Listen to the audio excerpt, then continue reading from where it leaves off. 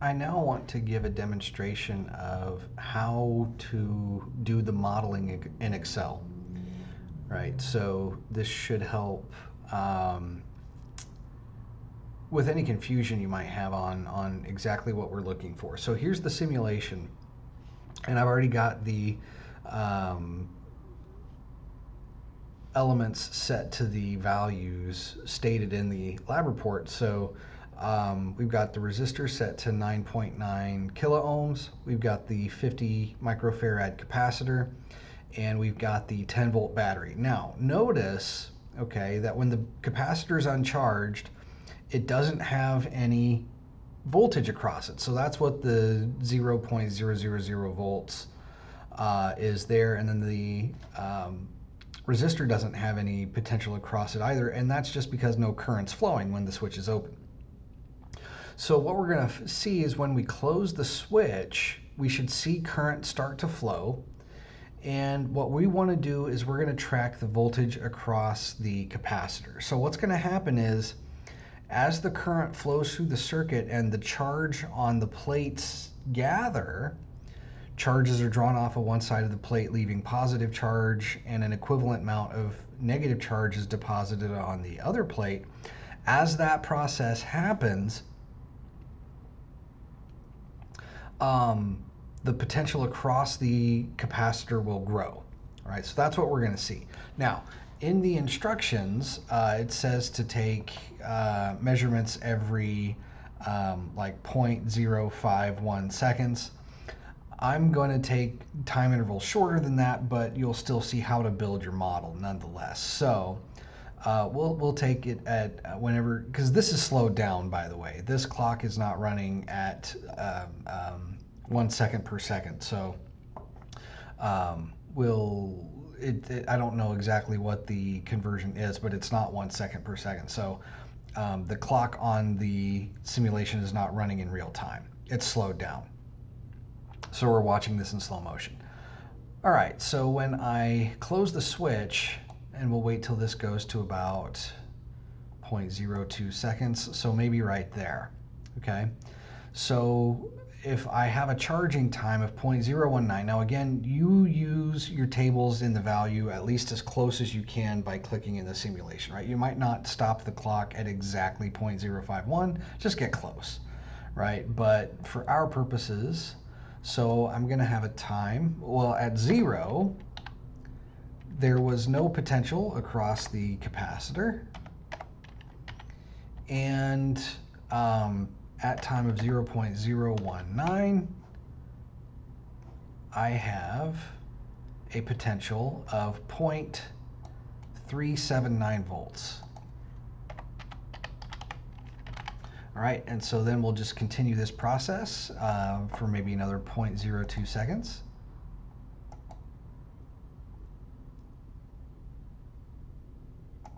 Okay, so 0.041 I'm at 0.802 volts. And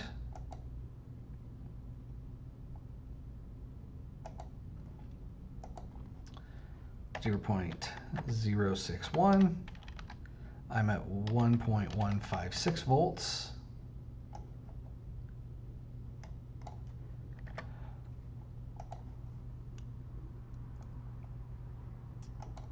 And again,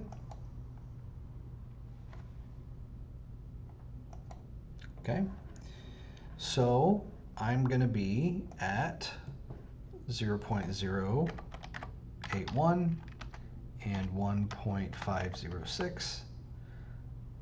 And so you can see that the um, voltage is getting higher, but the increment um, in each time interval should actually be decreasing some, right? That's, that's what we should be noticing.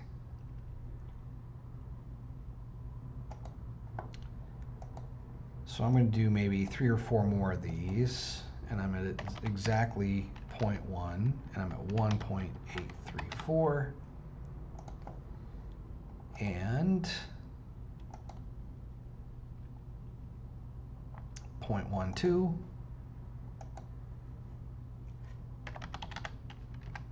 I'm at 2.154 and we'll do one more for good measure.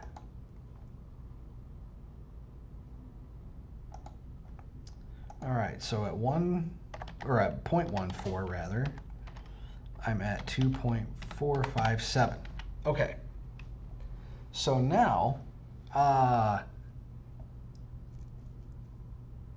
what I want to do, okay, is first things first, let's plot this. And remember, let's remind ourselves, this is the potential across the capacitor, so I'm expecting some sort of curve that looks like this, okay? It'll rise somewhat sharply and then start to level off, right? So that's what we're expecting. And this might not be all that extreme. Uh, in fact, this actually looks linear, as a matter of fact. right? Because we're capturing such a small time span. Uh, if I plot and fit this with a linear trend, yeah, that, that linear trend fits it very well, but that's not what we want to do. Okay, that's not what we want. Um, the way to actually evaluate this, okay, the way to actually evaluate this is to build a model, okay? So the model, remember, is given by this equation right here. Um, actually, really by this one. So this is what we're going to plot. So what I need is the time constant. I need the RC value. Okay, I need this RC value.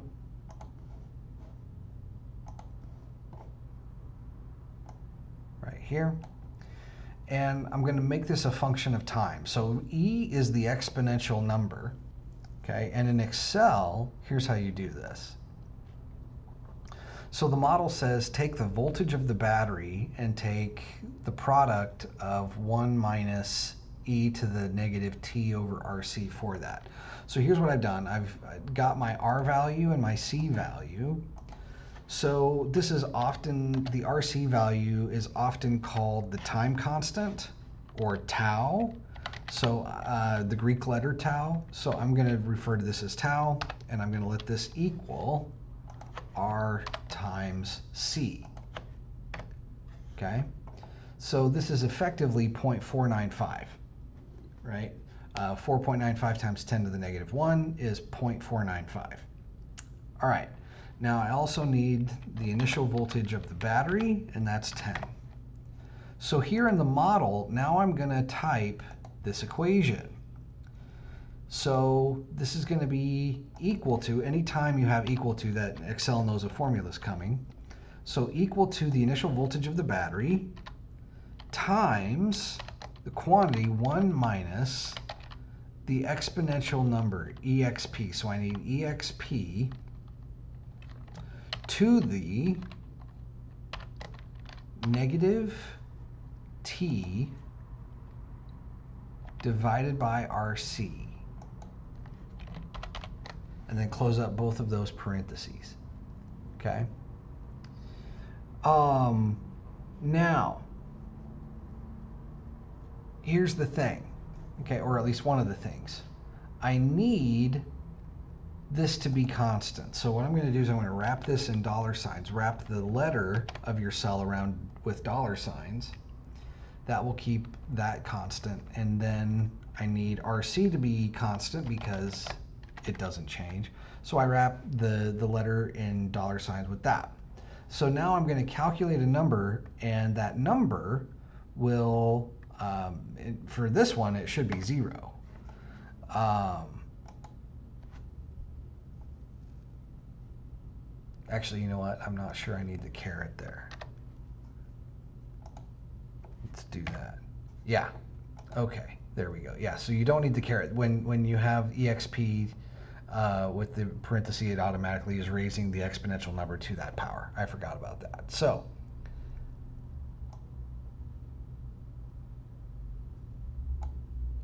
we have this. Okay? So what you want to do now, what you would want to do is now plot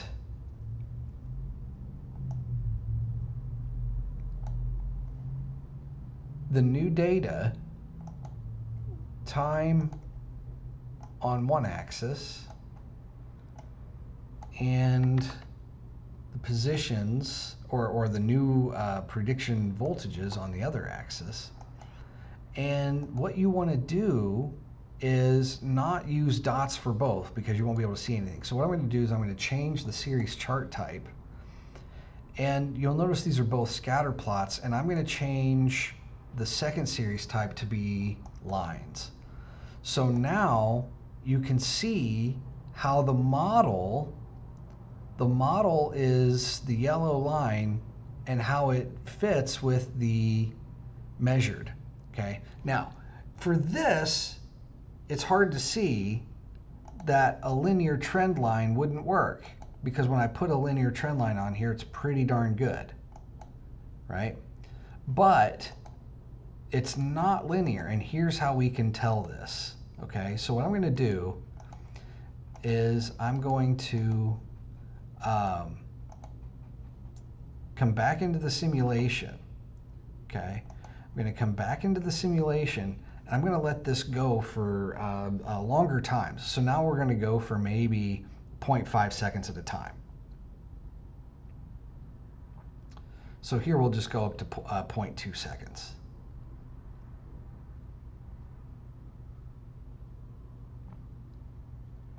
You don't have to go this far, okay? You only need to do the data points on the on the report, but this is just to show that this is in fact not linear. So 0.2 and I was at, whoops, uh, 3.348.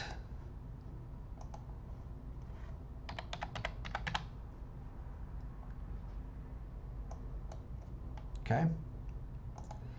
And um, we'll let this go to maybe 0.4.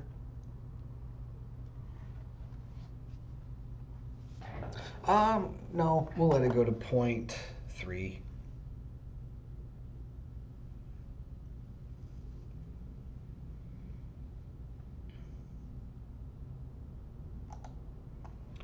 Point two nine two, and I'm at four point four five eight.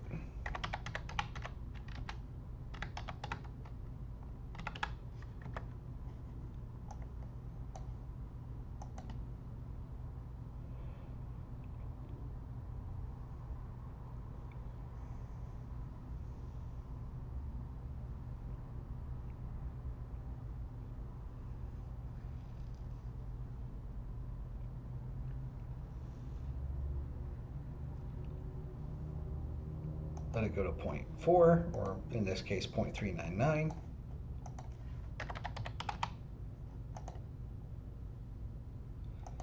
And I'm at 5.534.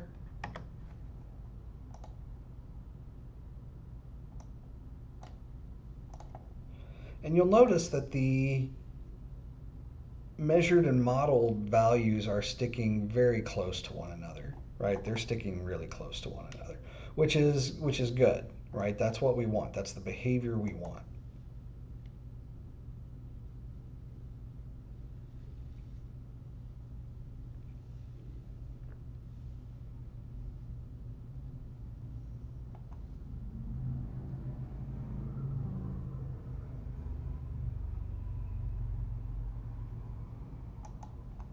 Okay, so 0.5 seconds. And we're at 6.357.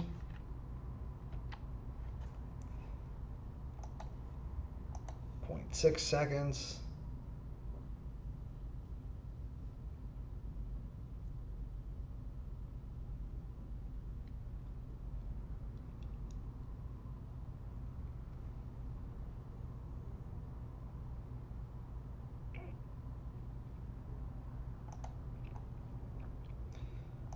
So 0.6.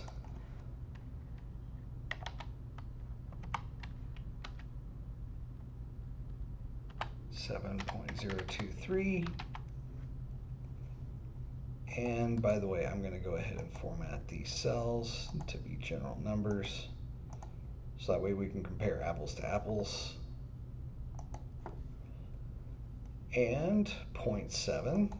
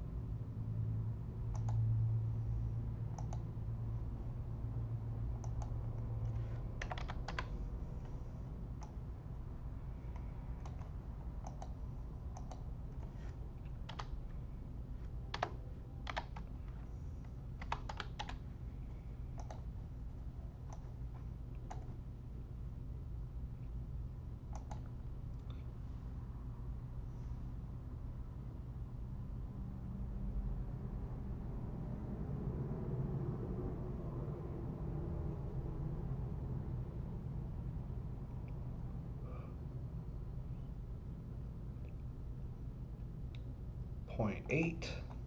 All right.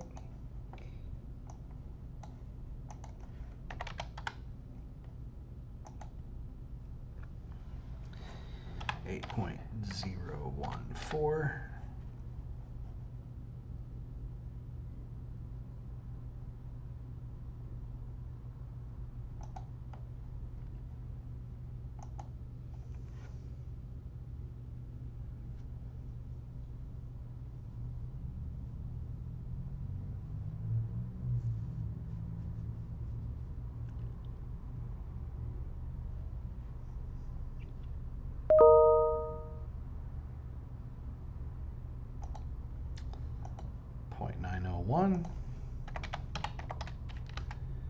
And we're at 8.38. Oop, 8.38. Okay, so first things first, right? First things first. Notice that now we're really starting to see the rate at which our voltages are changing with uh, relatively constant time increments is slowing down, right? So when we went from 4.4 seconds to 0.5 seconds, we had a shift, shift in voltage of about 0.82. And now from 0.8 to 0.9 seconds, we have a change in voltage of about 0.376. Okay, so the change in, in our the amount of change our voltage is experiencing across the capacitor is decreasing with time.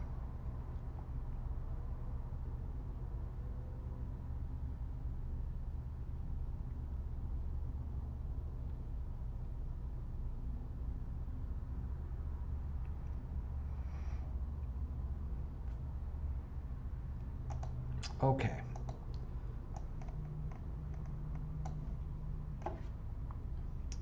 am I at 10 exactly? 1, 1.001. Um, 8.677. And notice how my um, model value is automatically updated, right? Excel is, is smart sometimes. So I'm actually going to get rid of this plot. Um, and now I'm going to plot this. And we actually should now see more of this kind of behavior. It won't be that extreme, but you'll you should detect it now. And there we go, right? So now, right, my first several data points were down here, and this looked really linear, but now you can see that this is definitely not linear. So if I add a linear trend line through this, now you can see that that just doesn't look good, right? It doesn't look good. And even though its R squared value is still pretty good, 0.95, it's just not that great, right? So this is not a linear trend, so I'm going to get rid of that trend line. And I'm going to do the exact same thing I did before. I'm going to um, select data and I'm going to add. And my X values are going to be my time. My Y values are going to be the model. And again, now you can see how well they lie right on top of each other, but I don't want that. I want to see the actual interaction. So I'm going to format the, uh, whoop, I didn't want to format the data series. I want to format the plot type or the chart type. So change chart type. Um, I don't know. Oh, let me try this. No. Change series chart type. So you might have to hover over a data point. And I'm going to change the second one to uh, be a line. And so now you can see how um, the model fits the experimental data. So the experimental data or the measured data are your blue dots. Your model is the solid line. And what this is telling you is that the data, the blue dots, are fitting our prediction. So essentially, our model is a prediction. Okay? So our model is a prediction based on this equation. We're, we're asking ourselves, is that equation true? And the data are saying, yes, yes, it is. Okay? Because the data uh, fit the model very well, right? So that is what you're doing with this assignment. Now, again, you don't need to take this many data points. Just take the number of data points at the uh, as close as you can to the specified times. Okay, but this is the process. So when you build your model, what you're doing is you're taking the values of your constants, your v, r, and c, and plugging them into a formula that's in a, a function of time, and that function of time matches the prediction of the voltage of the battery times the quantity 1 minus e to the negative time divided by RC. Okay, so hopefully that clears uh, any confusion you have up. If you need anything else, just let me know. If you have any questions, let me know, and we will talk to you later.